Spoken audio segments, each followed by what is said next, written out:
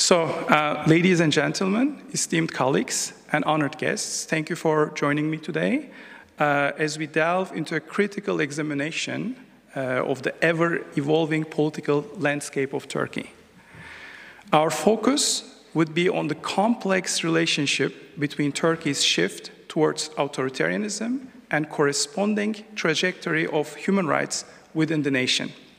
The significance of this analysis lies not only in the academic importance, but its uh, real world implications for the targeted groups facing systematic human rights violations, persecution, and dehumanization. As we um, uh, embark on this exploration, uh, we will shed light on the deliberate strategies employed by the Turkish regime targeting specific groups with a precision that extends beyond mere political opposition. Two characteristics, two characteristic cases we're going to be focusing on Kurdish movement and the Gulen movement. Understanding these cases, their narratives, and the mechanisms of their persecution provides us with essential insights into the authoritarian turn in Turkey. So my basic interest is not only talking about human rights, but also connecting that topic with the political system of Turkey, which is in a big shift, and many people are ignoring that. So I propose that critical elements such as human rights, the rule of law, separation of powers, checks and balances, free media, fundamental freedoms, and independent judiciary are essential for categorizing um, a nation as a democracy. Presently, Turkey falls short of meeting these criteria. So, moreover, I oppose the idea that achieving um, a regime change in Turkey, so getting back to democratization, rule of law uh, orientation of the country, uh, is very hard to uh, be achieved through democratic elections. So, what is democratic elections? Uh, we have two different approaches in political science. One is the, uh, based on uh, the minimalist democracy definition, which assumes there is a democracy in a country if we have elections. But the problem with that definition is we have a lot of countries, they do have elections, but they, they're not democracies. Russian Federation, for example, Venezuela, or Belarus. So those countries, they, they have regular elections, but nobody ex expects, you know, when, when uh, you know, Putin is a candidate or Lukashenko is a candidate, that uh, they're going to lose the election at the end of the day. So the, the, same thing is happening in Turkey right now. So I want to uh, bring evidence based on human rights violations that Turkey is not a democracy anymore. So, ladies and gentlemen, as we explore Turkey's recent political uh, evolution, two parallel processes have unfolded, reshaping the nation's governance. On one hand, Turkey has gradually transitioned into an authoritarian regime, a transformation noted by scholars. On the other hand, the political system has shifted from a parliamentary model to a Turkish style presidential one, signaling a departure from democracy norms or democratic norms uh, and rule of law. So Turkey is moving away from democracy. The consensus in the literature is clear. Turkey is no longer a functioning liberal democracy, but rather a hybrid regime. So let's, so, sorry about that. I'm not used to that kind of stuff. So I, normally I'm just teaching as a regular professor, and I don't, I don't have that kind of good technology, guys. Sorry about that. So um, I talked about the consensus uh, in the literature. So people gradually understand something is wrong. The picture is like, you know, we see Turkey um, meeting with European leaders, with NATO. Turkey is part of NATO. Turkey is a European Union candidate. Uh, Turkey is a fancy country showing itself as a very democratic, uh, you know, accepted in the Western uh, world, that kind of country. And this is just a fake. Right now, it's not anymore uh, the case. So the crucial moment happened in 2013, started to change the Turkey that we used to know. So during Gezi Park protests, where Erdogan felt his authority was challenged, the government's response set the tone. Peaceful opposition faced force, paving the way for a decline in democracy. The next key event in the same year, 2013, so 2013, 13 is an unlucky number, right? So uh, just a joke, but 2013 was a really, really unlucky year for Turkey. The corruption scandal happened in 2013, in December. So that scandal involving Erdogan's family and officials was a very significant milestone. The next key event was a huge impact. This move tightened the grip on media narratives, branding journalists as terrorists. That happened for the first time in Turkey. Okay, that happened in smaller scales in Turkish politics like one or two journalists were accused of um, you know, committing terrorism or um, supporting terrorism, but not, not in that massive amount of journalists. Like we're talking about hundreds of journalists being jailed, being persecuted. So Erdogan's tightening grip on power the breakdown of alliances and the abandonment of uh, former associates underscore the erosion of democratic principles in Turkey. What started as an optim optimistic trajectory towards democratization throughout the um, EU reforms and uh, Turkey becoming gradually and um, you know uh, gr uh, gradually a stable democracy, human rights uh, records of Turkey were getting better and better every single year. Started in 2019 up to 2010, even up to 2011, we see a gradual increase uh, in almost everything. Turkey was becoming a real democracy. There was hope over there.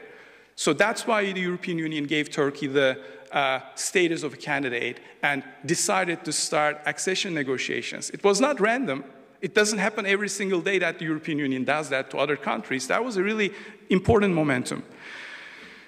So, um, ladies and gentlemen, for the purpose of this presentation, it's imperative to delve deeply into two specific groups, as I mentioned before. So, uh, the Kurdish movement and the Gulen movement, uh, and how the collective punishment for those two groups occurred and have been still occurring. It's still a process. It's not, we're not talking about past. It's still going on. So uh, while acknowledging the challenges faced by various segments of Turkish society, the focus on these two entities provides a concentrated examination of the regime's intensive efforts to suppress dissidents and consolidate its power. So the Kurdish movement struggles with Turkish supremacist nationalist uh, discourse aimed at assimilation and marginalization and a narrative, narrative construction that portrays the Kurds as a threat to Turkey's national unity. So the Turkish government is basically saying that being a Kurd and speaking their own language, having their own culture is a crime.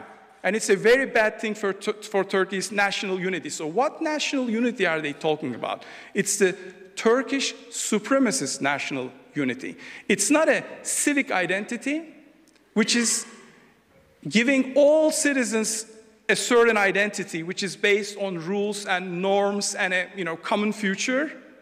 Like in many countries, we're in Belgium, Belgium is that kind of identity. Canada, Australia, a lot of countries have a civic identity, not Turkey. Turkey's identity talks about Turks in an ethnic, racial concept.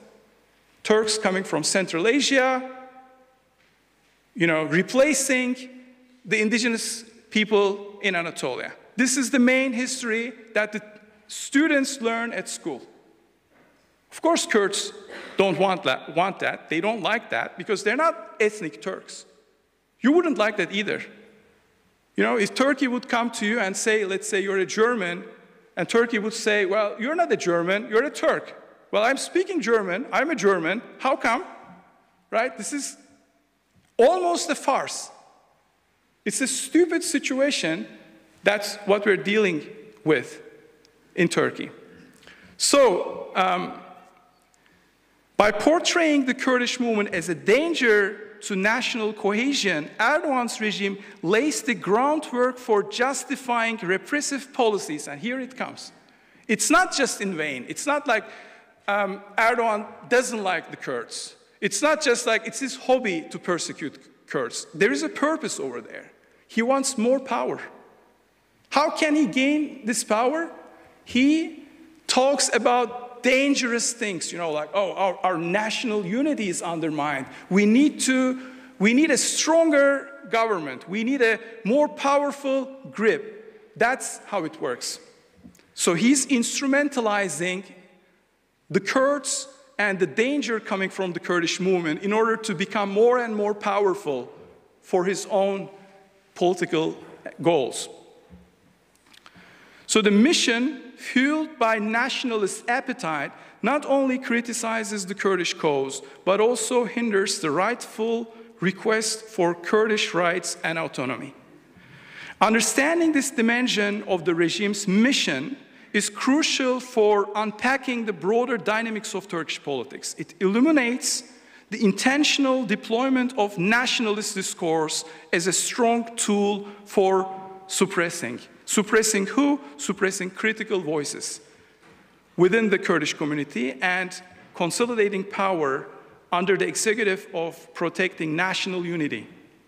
As we navigate through these complex narratives, it becomes evident that the Kurdish issue is not merely a regional concern, but a central piece in the puzzle of Erdogan's authoritarian agenda. As we delve into the uh, complex or complicated dynamics of the Kurdish movement's uh, persecution, it is essential to underscore the gravity of the situation by examining some alarming numerical data. So the good thing is we talk about it, about the content, what's going on.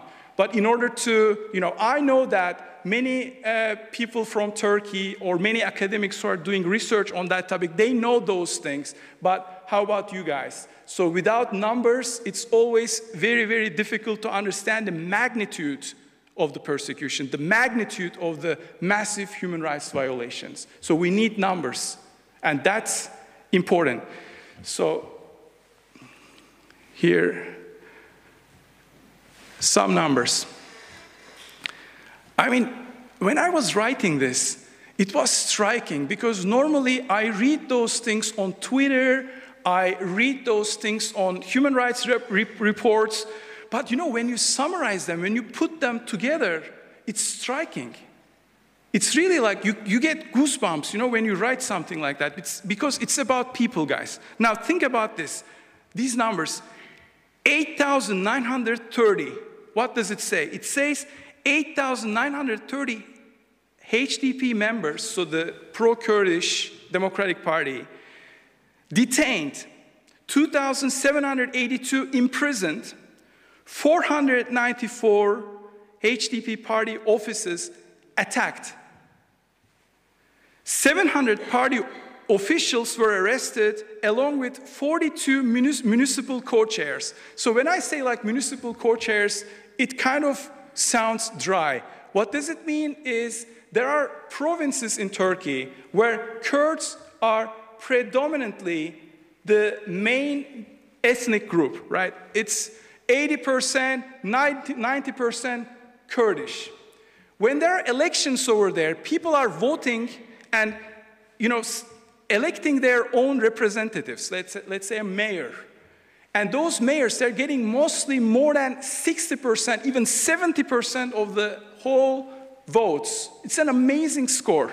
So when, uh, when we talk about those people officially elected, jailed, it's like incomprehensible for any type of liberal democracy in the world. How come that a you know, elected mayor the next day goes to jail? Can that happen in Belgium? I don't think so. So, um, 69 municipal co-chairs were arrested, 58 dismissed and replaced by 50 municipalities. Replaced by who? By the government, arbitrarily. There is no re-election procedures. The government says, this person is a terrorist, go to jail, red card to you. Who's gonna come and replace this person? oh, I, I have this friend over there, you know, the friend of the party, the friend of Erdogan, the friend of the clique. Let's call him and bring him over there. He's not a Kurd. He doesn't care about Kurdish rights. He's not a politician. He's going to serve the regime. This is how the regime is consolidating itself, guys. So,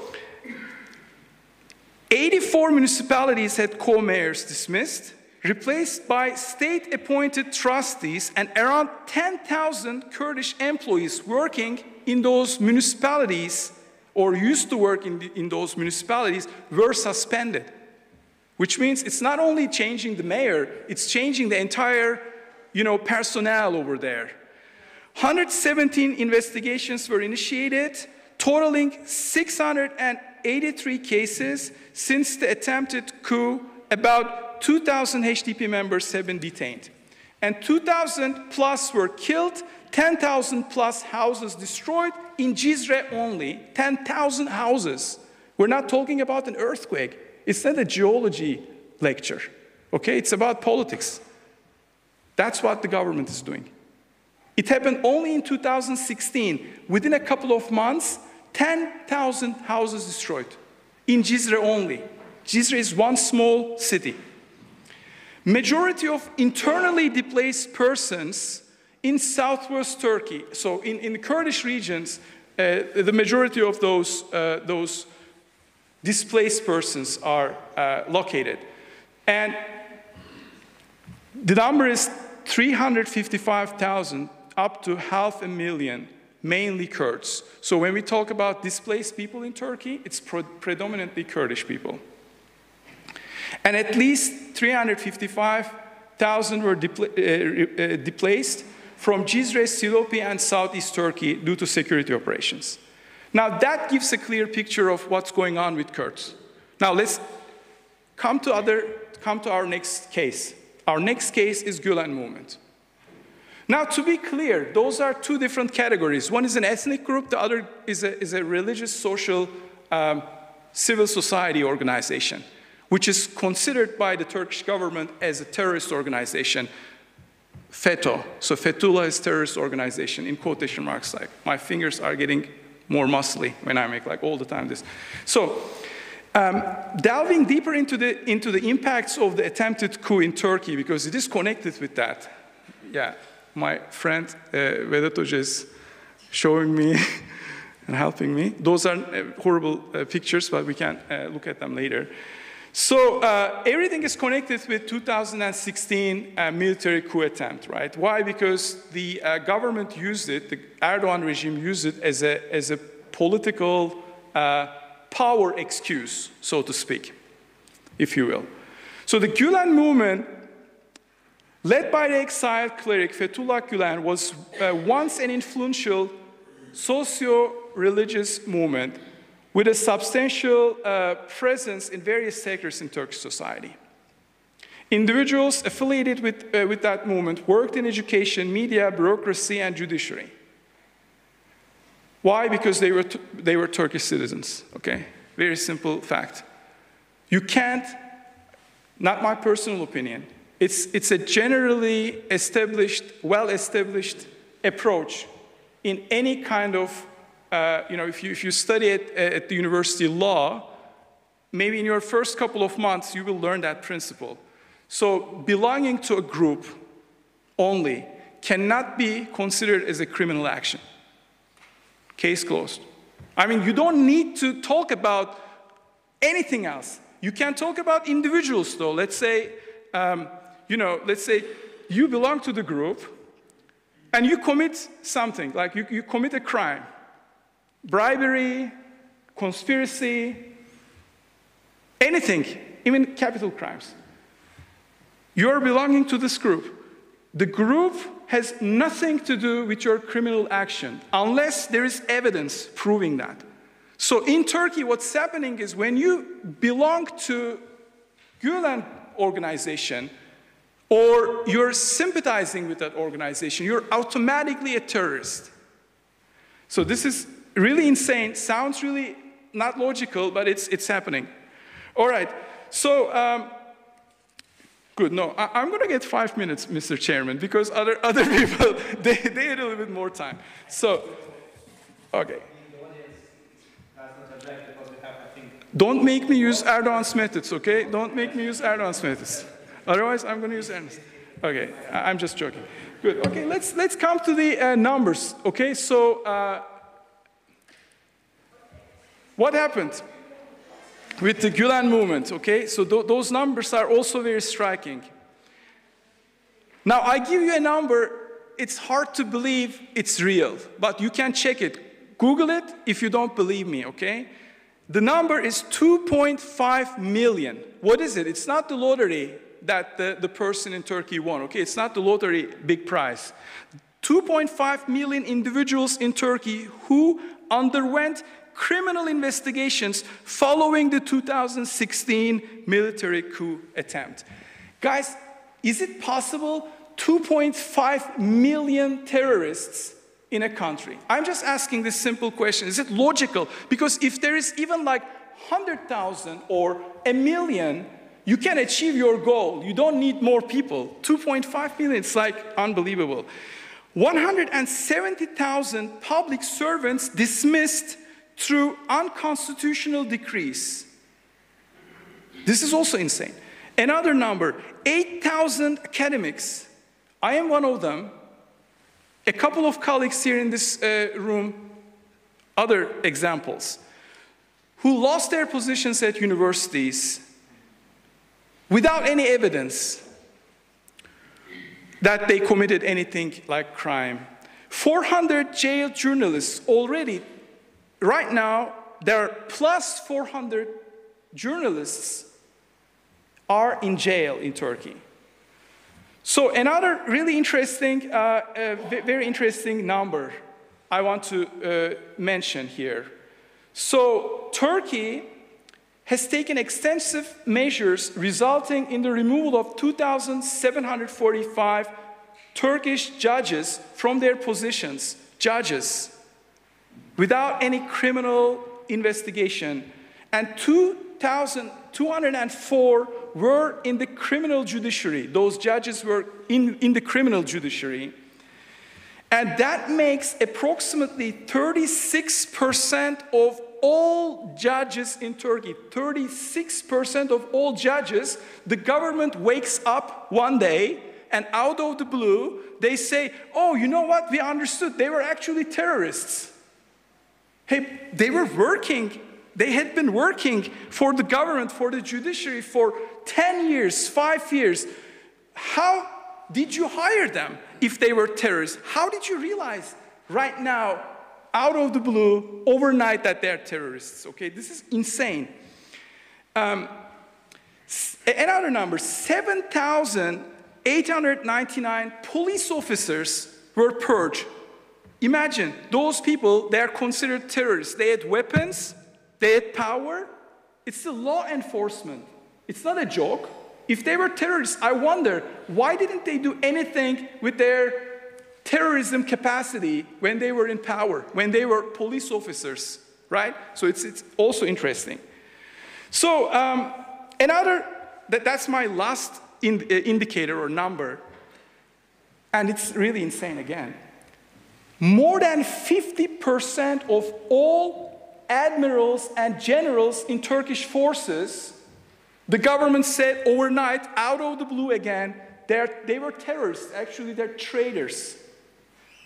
More than 50% of all generals and admirals. Can you imagine how many hundreds of thousands of soldiers they were commanding? Turkey is in active service more than 600,000 soldiers second largest NATO army in the world, okay? So those admirals, they were actually commanding over 300,000 soldiers.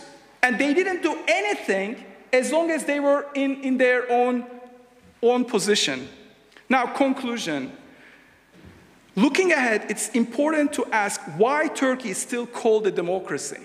This is the whole message I want to give you today. Why do we call this country still a democracy? Okay, it's a fragile democracy. It's a backsliding democracy. Don't give me any adjectives. Why still using democracy for a country like that? So the lack of a precise definition is the main problem because we political scientists, we know what democracy is. But most of the people, the laymen, they have zero idea what democracy is. They think, oh, there are elections, as I mentioned in the very beginning of my presentation. There are elections in Turkey every four years. And opposition is very competitive. We see that, you know, they won Istanbul municipality, Ankara municipality. They have zero idea about theory. And our job is we need to talk about those things more often. And uh, I don't want to torture, torture you more. Thank you very much for your uh, interest. And I'm looking forward to your questions.